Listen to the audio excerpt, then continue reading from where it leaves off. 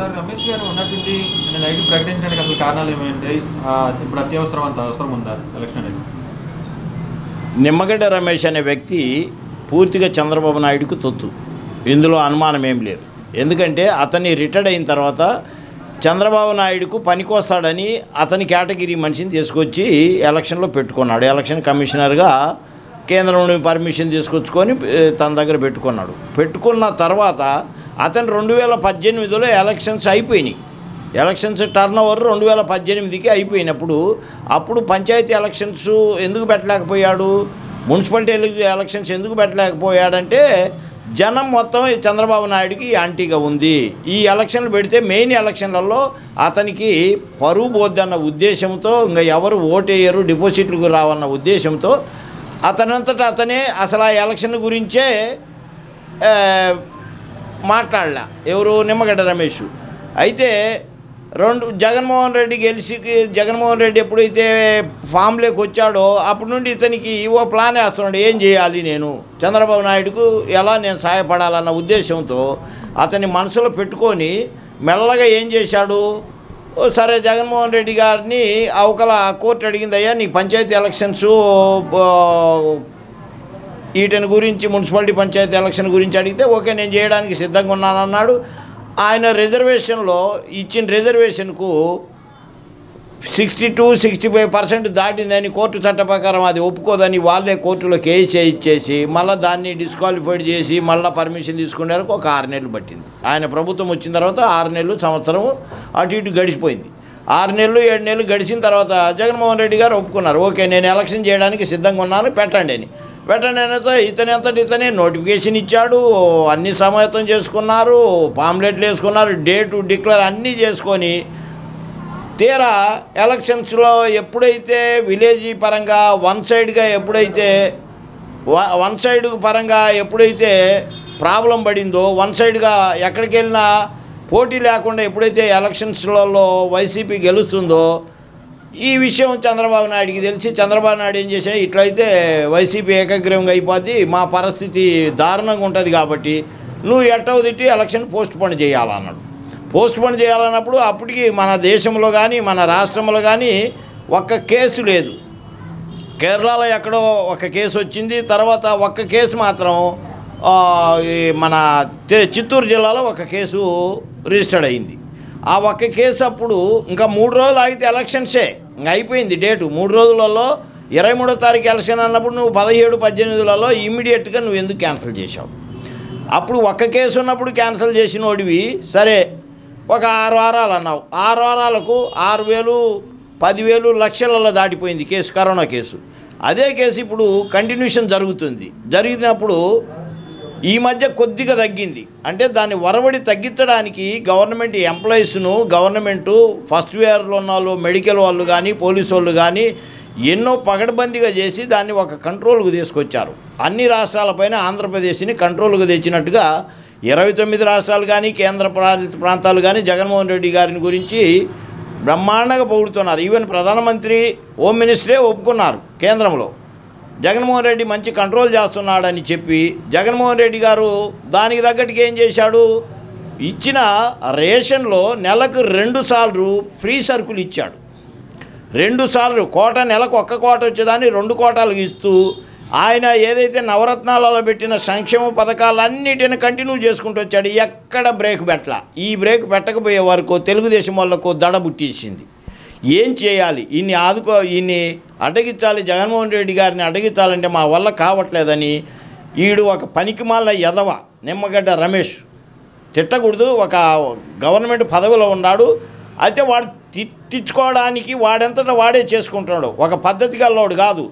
వాడు అమ్మాయికి పుట్టి లేదు తెలుగుదేశంలో ఉన్నోళ్ళు ఎవడన్నా అమ్మాయికి పుట్టే ఇప్పుడున్న పొజిషన్లో ఆరు ఏడు లక్షల మందిని కరోనా బారిన నెట్టడం కోసం వీళ్ళు ఇవి ప్లాన్ చేశారు ముందేమో కరోనా మీ వల్ల కావట్లేదు నేనైతే పీకేవాడిని నేనైతే ఊడ్చేవాడిని అని చెప్పిన చంద్రబాబు నాయుడు గారు ఇప్పుడు ఎప్పుడైతే కరోనా తగ్గిపోయిందో వీడికేం అర్థం కాక మళ్ళీ ఇప్పుడు ఎలక్షన్ పెట్టండి అని. అంటే ఈ కరోనా కేసును మళ్ళీ ఉధృతం చేయించాలి రాష్ట్రంలో. రాష్ట్రంలో ఎవడన్నా బాగుపడతాడంటే ఒప్పుకోని వ్యక్తి చంద్రబాబు నాయుడు. రాష్ట్రంలో వాడు ఒక్కడే బాగుపడాలి వాడి కులమే బాగుపడాలి వాడి బంధువులే బాగుపడాలన్న వ్యక్తి చంద్రబాబు నాయుడు. ఇతర కులాలు ఎవడన్నా వాడికి హెల్ప్ చేసినా వాడిని ఆ టైం వరకే వాడుకుంటాడు తప్ప మిగతా టైంలో దగ్గరికి కూడా రానిచ్చే వ్యక్తి కాదు చంద్రబాబు నాయుడు. వాడు కానీ వాడు కొడుకు కానీ ఈ రాష్ట్రంలో పర్మనెంట్గా పాతకపోతామన్న ధీమా ఉండే ఎలక్షన్కి ముందు పసుకుంకమని పదివేలు ఇచ్చి జనాలను మోసం చేయాలని చూశాడు. అయితే జనాలు ఇన్ని బంగాళాఖాతంలో తొక్కేశారు. పసుకుంకం అందరు తీసుకున్నారు. నువ్వు కూడా ఏం ఒక్కసారి పదివేలు ఇవ్వలే. నాలుగు మూడు విడతలుగా చెక్కులు ఇచ్చి జనాలను మోసం చేయాలని ప్రయత్నం చేశావు. జనాలు నిన్నే మోసం చేశారు. కాబట్టి ఇకనైనా నువ్వు ఆంధ్రప్రదేశ్కి పట్టిన చీడ ఒక దరిద్రము నువ్వు గైనా ఆంధ్రప్రదేశ్ నుండి వెళ్ళిపోతేనే ఈ రాష్ట్రం బాగుపడుద్ది. ఇంకొక మీదట ఒకవేళ నువ్వు ఈడ ఉండి పోటు చేసి లక్షలు కోట్లు ఖర్చు పెట్టినా తెలుగుదేశం అనే వాడిని చంద్రబాబు నాయుడు ఉన్నంతసేపు తెలుగుదేశాన్ని ఇంకా ప్రజలు నమ్మరు. ఒకవేళ ఎవడన్నా నమ్మినా ఇప్పుడు ఈ మధ్య మళ్ళీ కొత్త డ్రామా మొదలుపెట్టాడు. గుడులను గోపురాలను దూర దూరంగా పల్లెటూళ్ళలో ఎక్కడో అజ్ఞాతంలో ఉన్న అంధకారంలో ఉన్న గుడుల దగ్గరికి వెళ్ళి గుడులను రానాక రకంగా ఇబ్బంది పెట్టి జనాలను మళ్ళీ ఇప్పుడేంటి? మొన్నటిదాకా కుల రాజకీయాలు చేశాడు ఇప్పుడు మత రాజకీయాలు చేయడం మొదలుపెట్టాడు.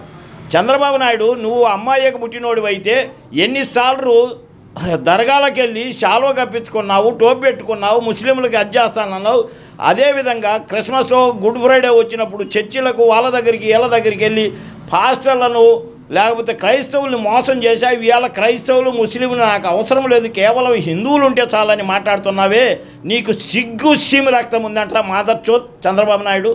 ఒక రకంగా నిన్ను మామూలుగా తిట్టకూడదు. జనాలు తెలిసిన వాడైతే ఎవడైనా చంద్రబాబు నాయుడిని ఆంధ్రప్రదేశ్లో అడుగు పెట్టనీయకూడదు. ఒకవేళ పెట్టినా వాడు ఎక్కడికన్నా షో వస్తే వాడిని రాళ్ళు చెప్పులతోనే కొట్టి పంపించాలని మా యొక్క రిక్వెస్ట్. ఎందుకంటే వాడు మనిషి అయితే కాదు. పద్ధతిగా ఉండేవాడైతే కాదు. వాడికి ఒకటే దురద. ఎందుకంటే జనాలను మోసం చేయడం మాత్రమే తెలుసు. ఆంధ్రప్రదేశ్లో పద్నాలుగు సంవత్సరాలు సీఎంకు చేసి పద్నాలుగు పైసల పని కూడా చేయించకుండా నువ్వేసిన రోడ్లు కాదు నువ్వేసిన లైట్లు కాదు ఇవన్నీ కాంగ్రెస్ గవర్నమెంట్ ఎప్పుడు నుండో చేసుకుంటూ వస్తుంది. అదంతా నేను చేశాను నేను చేశానని ఒక గొప్పలు చెప్పుకుంటున్నావు తప్ప నువ్వు ఎక్కడ తట్టెడు మట్టి వేసింది లేదు ఒక కిలోమీటర్ రోడ్డు వేసింది లేదు ఒక చెరువు దొవ్విచ్చింది లేదు. దేనికి రా నిన్ను ప్రజలు నమ్మేది? మోసం చేయడంలో నంబర్ వన్ మోసగాడివి అయితే నిన్ను ఎందుకు ఎందుకు నమ్మాలి ప్రజలు? నేను దేన్ని నమ్మాలి? నిన్ను నీ కొడుకు నమ్ముతారు. నీ కొడుకు తెలుగు రాదు. వాడికి మాట్లాడే భాషే రాదు. వర్ధంతికి జన్మదినానికి తెలియ తేడా తెలియని వాడికి వాణ్ణి నువ్వు నేను సీఎం చేయాలని నువ్వు తిరుగుతున్నావే. నీ వల్ల కాదు నీ బాబు వల్ల కూడా కాదు. మా నాన్నగారు చెప్పేవాడు నీ నాయన ఖర్జూరవో నీ తాత కిస్మిస్ నాయుడు ఇటువంటి వాళ్ళు వందల మంది వేల మంది వచ్చినా ఏం పీకలేరు. నువ్వు కాకపోతే ఇప్పుడు జగన్మోహన్ రెడ్డి గారి మీద క్రైస్తవ మతాన్ని రుద్దుతున్నావు. జగన్మోహన్ రెడ్డి క్రైస్తవుడు కాదు భగవద్గీత బైబుల్ ఖురాన్ మూడు నాయని ఆయన ఎలక్షన్ నుండి ఇదే చెప్పుకుంటూ వస్తున్నాడు. నువ్వు క్రైస్తవులను ఇప్పటికైనా టార్గెట్ చేసావనుకో అరే మాదచ్చో చంద్రబాబు నాయుడు క్రైస్తవులు నిన్ను ఎంబటించి ఎంబటించి చంపుతారు. వాళ్ళు నిద్రపోయే సింహాలు క్రైస్తవులు అనేవాడు ఏ కులస్తుడన కానీ ఒక కులము లేరు క్రైస్తవులు ఒక జాతిలో లేరు అన్ని జాతులలో ఉన్నారు. బైబుల్ నమ్ముకున్న వాళ్ళు వాళ్ళు నిద్రపోయే సింహాలు వాళ్ళనికైనా నువ్వు లేపి తన్నించుకుంటానంటే ఈ పని చెయ్యి. ఖచ్చితంగా ఇంకొకటి వచ్చింది ఆ పనికి మళ్ళీ యామిని. అది నిన్న మొన్నటిదాకా రా వాడి ఎవడు లోకేష్ పక్కల పండుకొని పోయి ఇప్పుడు పోయి బీజేపీ వాళ్ళ పక్కల పండుకొని మాట్లాడుతుంది అది. నేను అది పొడుస్తాను ఇది పొడుస్తానని ముందు నీ మానం నువ్వు కాపాడుకోయే. నీ అవతారం ఏంటి నువ్వేంటి? గుళ్ళు గోపురాలు తిరిగి చర్చిలోళ్ళు రాడ్లు వేసుకుంటున్నారు చర్చిలు కట్టుకుంటున్నారు. ఎవరు ఏడు కట్టుకున్నావు? పాతయే కట్టుకుంటున్నారు. కొత్త ఏం నువ్వు ఇచ్చావా డబ్బులు? లేదు మోడీ గారు ఆంధ్రప్రదేశ్ కాదు ఇండియాలో ఉన్న ఒక హిందువులకే ప్రధానమంత్రి. మిగతా కులాలోళ్ళు మోడీకి ఓట్లు వేయలేదా? మోడీ ఓడి లేకపోతేనే మూడు వందల మూడు సీట్లు ఆయనకు ఎంపీ సీట్లు వచ్చినాయా? అన్ని కులాలకు ప్రధానమంత్రి మీరు చెప్పండి మీరు బీజేపీ వాళ్ళు. ఇక్కడున్న సోమవీరాజు కానీ వాడెవడో మొన్న మాట్లాడాడు తెలంగాణోడు.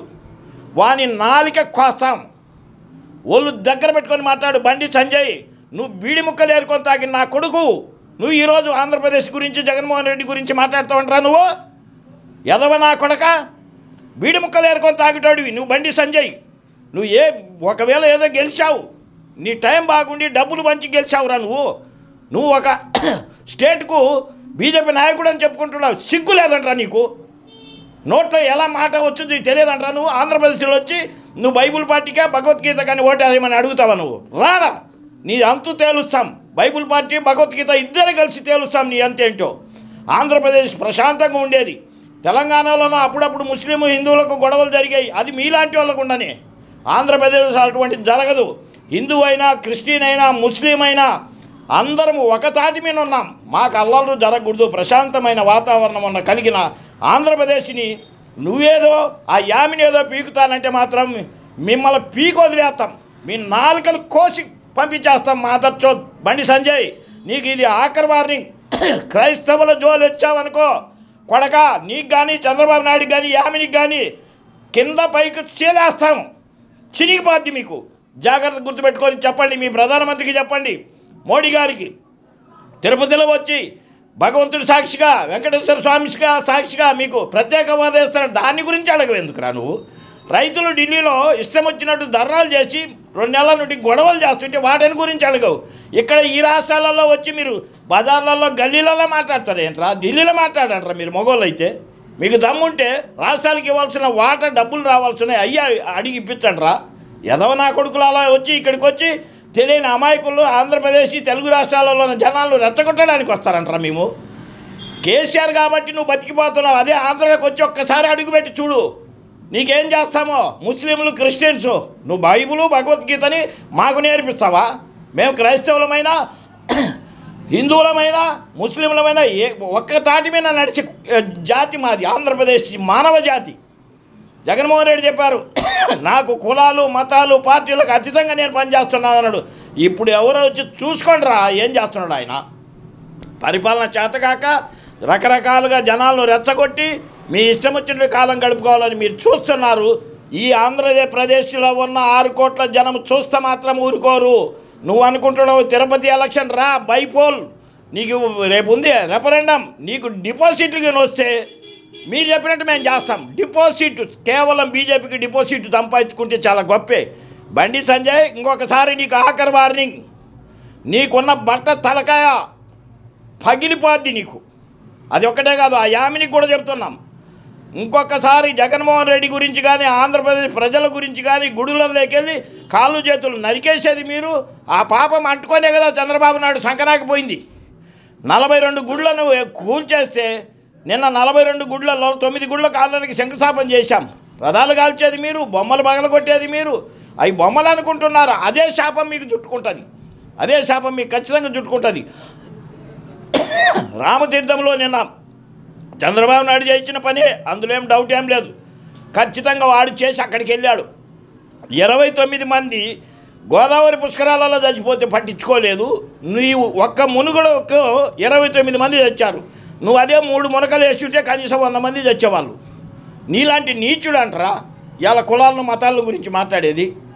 కులం గురించి మాట్లాడుకో మతాల గురించి మాట్లాడితే మాత్రం నీ అంతు తేల్సని వదిలిపెట్టరు. చంద్రబాబు నాయుడు గుర్తుపెట్టుకో.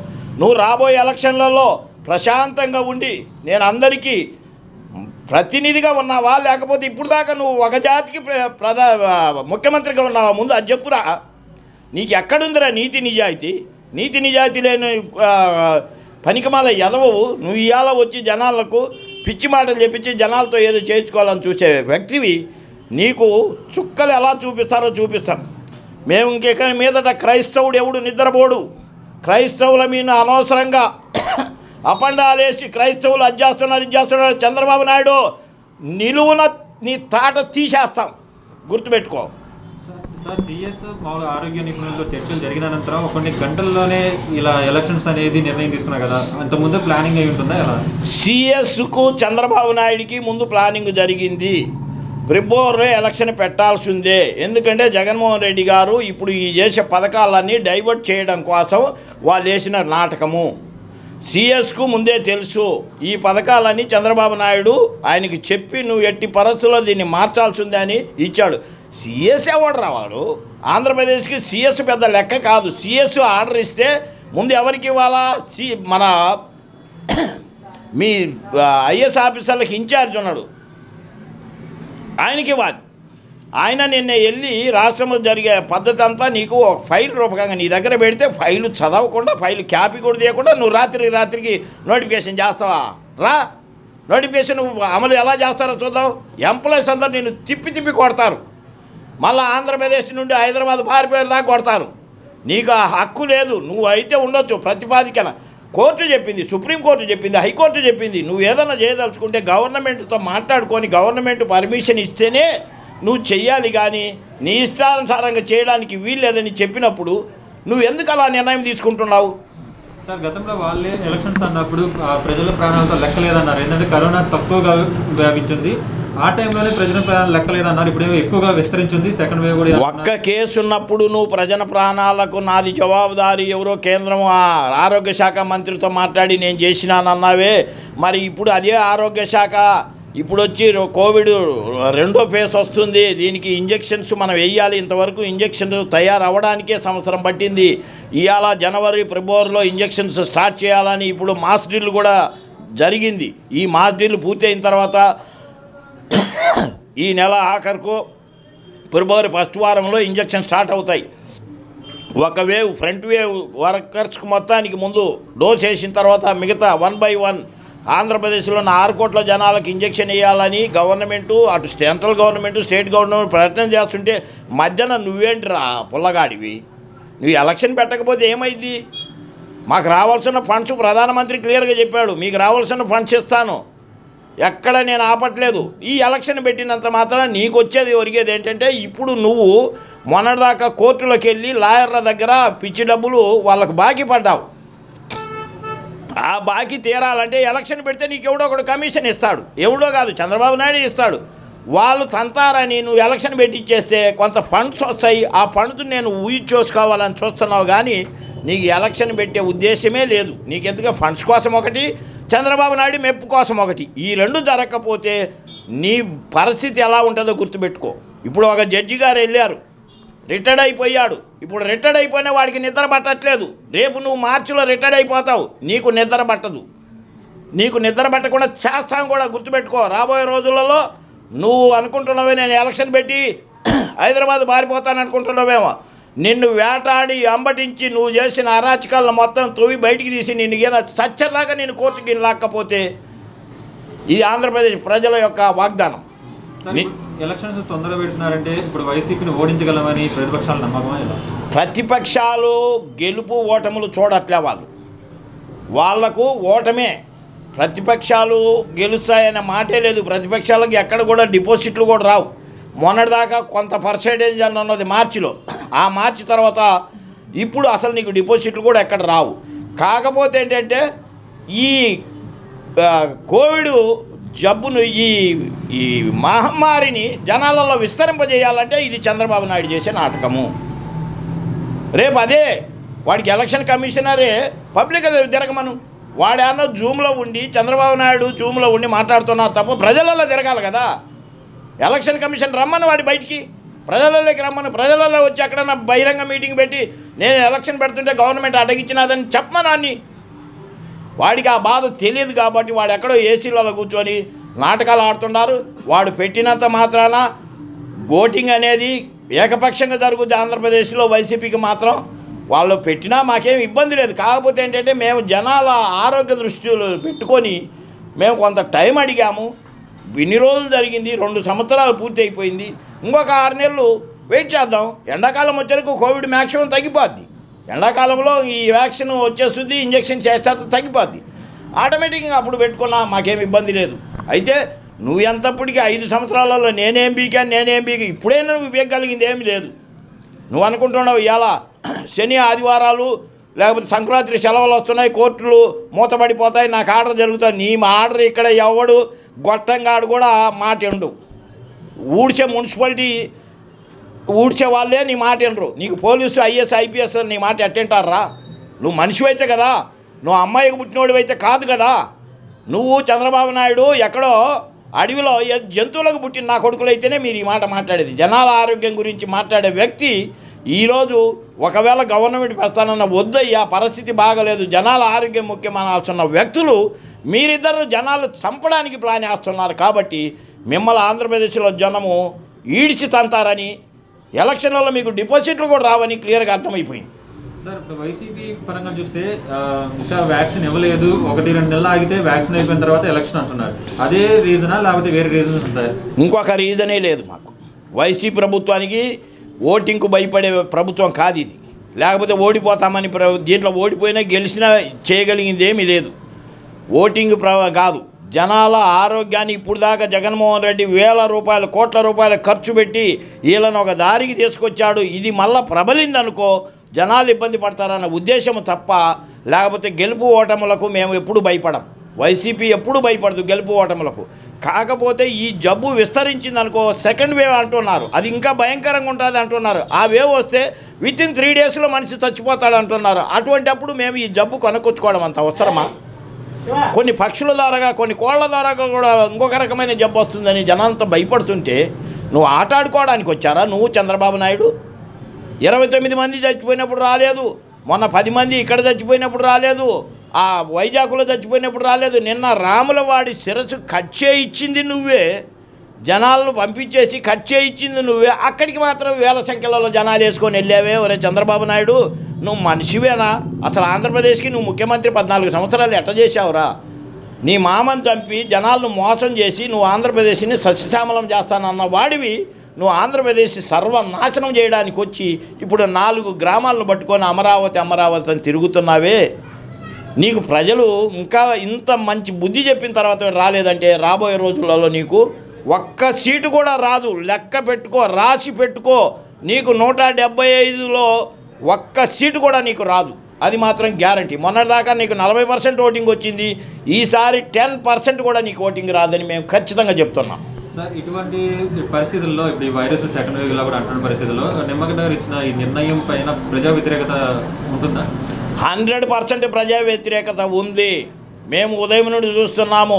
ఏ ఛానల్ ఎక్కడికి వెళ్ళినా కానీ ఉద్యోగస్తులే తిరగబడుతున్నారు. మేము చెయ్యము. మా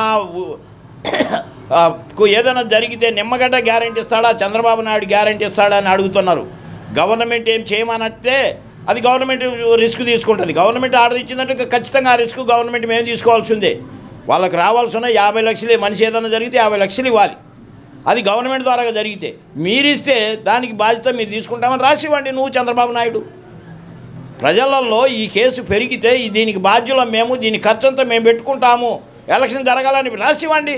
అప్పుడు చూద్దాం. హండ్రెడ్కు హండ్రెడ్ పర్సెంట్ ప్రజలలో వ్యతిరేకత ఉంది. ఇప్పుడు ఎలక్షన్ జరగకూడదని పెళ్ళిళ్ళు బేరంటాలు లేకపోతే పండగలు చేసుకోవడానికే భయపడి జనాలు ఇళ్ళలో ఉంటే నీకు ఎలక్షన్ అంత అవసరమా? దేనికి పనికిరాని ఎలక్షన్? కాకపోతే అది మేము చేయాల్సిన పని మేము చేస్తున్న గవర్నమెంట్ చేయాల్సిన పని గవర్నమెంట్ చేస్తుంది. ఎక్కడన్నా ప్రజలకు ఇచ్చే ఈ వెల్ఫేర్ పాయింట్ వల్ల ఎక్కడన్నా తగ్గిందేమో మీరు అడగండి. లేదు వాటిల్లో ఏదన్నా జరిగిందేమో మోసం మీరు అడగండి. అంతేగాని ఇట్లాంటి పిచ్చి మాటలు వేసి జనాలు రెచ్చగొట్టి కులాల మతాల మతాల మధ్యలో చిచ్చు పెట్టే వ్యవహారం నువ్వు చేసావనుకో చంద్రబాబు నాయుడు. నువ్వు ఇప్పటికే పోయావు. నీకు పుట్టగతులు కూడా ఉండవు. అంతకు మించి మేము చెప్పగలిగింది ఏమీ లేదు. ఎలక్షన్ కమిషనర్ ఈజే ఒక గొట్టంగాడితో సమానం. వాడి మాట లెక్కే లేదు ఆంధ్రప్రదేశ్లో. ఆరు కోట్ల మందికి వాడు ఒక గొట్టంగాడే. ఎందుకంటే పోయినసారే తీసేసి ఊడేసేస్తే ఎట్టగో వాళ్ళ నీళ్ళను పట్టుకొని కాళ్ళు పట్టుకొని కోర్టుకెళ్ళి వెళ్ళి కోట్లు కట్టి తీసుకొని వచ్చాడు. ఇప్పుడు ఆ కోట్లు ఎలా మిగిలించుకోవాలి ఎలక్షన్ పెట్టి అనే ఆలోచన తప్ప వాడికి జనాల ఆరోగ్యాన్ని గురించి మాట్లాడే వ్యక్తే కాదు. అసలు ఈడు ఐఎస్ ఐపీఎస్ ఐఎస్ ఆఫీసర్ ఎలా చేశాడో మాకు అర్థం కావట్లే. ఈడు బతుకంతా ఏదో ముఖ్యమంత్రుల దగ్గర వాళ్ళ దగ్గర దగ్గర బూట్లు నాకినోడు అనుకుంటా ఈడు. ఈడు పద్ధతికి చేసినోడైతే ఎవడు ఇలా ప్రవర్తించడు. ఈడు ఇదివరకు గవర్నమెంట్ కింద బూట్లు బోట్లు నాకుంటాడు ఈడు. అందుకే ఈ ఈడు ఈ మాట మాట్లాడుతున్నాడు. వాడు మనిషే కాదు అసలు. ప్రభుత్వం అయితే ప్రజల క్షేమం కోసమే పోస్ట్ పోన్ చేయమంటుంది. హండ్రెడ్ పర్సెంట్ ప్రజల ఆరోగ్యము ప్రజల క్షేమం కోసం గురించే మేము పోస్ట్ పోన్ అడుగుతున్నాము తప్ప ఓడతాం గెలుస్తాం అనే దానికి మేము లెక్కే లేదు. ప్రజలకు పూర్తిగా మద్దతు ఉంది. ప్రజల మద్దతు వైఎస్ఆర్సీపీకి ఉంది. కాకపోతే మేము చేసే పథకాల గురించి వాటిని గురించి వీటిని గురించి వీళ్ళు రకరకాల ఇష్యూ చేసి దీన్ని డైవర్ట్ చేయడానికి తప్ప ఇంకొక ఉద్దేశం కానే కాదు. ఎలక్షన్ ఎట్టి పద్ధతుల్లో జరగరు జరగనివ్వరు. ఖచ్చితంగా ఇది ఏదో ఈ vaccine first dose second dose అయిన తర్వాత అప్పుడు మే జూన్లో చేద్దామని అనుకుంటున్నారు తప్ప ఇంతకు మించి ఏం కాదు.